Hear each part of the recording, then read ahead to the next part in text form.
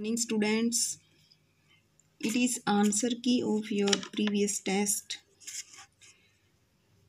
What was the name of mud's twin sister? Mud की जो twin sister जुड़वा बहन थी, उसका नाम क्या था? Tag what was used by Mud to make his picture Mud जो कि गोरीला बेबी गोरीला है मड वो पिक्चर बनाने के लिए क्या यूज़ करता था? Sap from leaves fruit and mud. पत्तों से निकला हुआ लिक्विड और फ्रूट और मड से वो चित्रकारी करता था।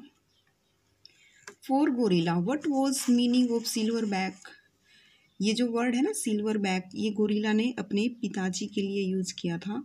तो इस वर्ड का मतलब क्या है गोरिल्ला के लिए? Silverback means protector teacher and guide silverback का मतलब होता है प्रोटेक्टर, यानी जो रक्षा करने वाला, टीचर, सिखाने वाला एंड गाइड और मार्गदर्शन करने वाला।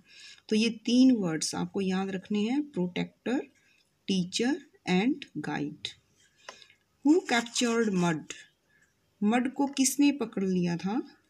मैक जो ह्यूमन फैमिली थे मैक और हेलन तो जो मैक था, उसने ही मड को कैप्चर किया था।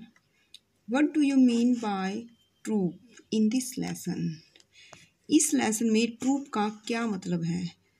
Gorillas family is called troop gorilla का जो परिवार है, उसको ट्रूप कहा गया है।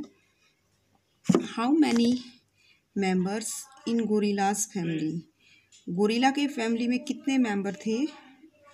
टेन मेंबर्स तो कितने मेंबर थे? Ten members okay students students आपको ये शॉर्ट क्वेश्चन आंसर अपनी फेयर नोटबुक में करने हैं. Thank you students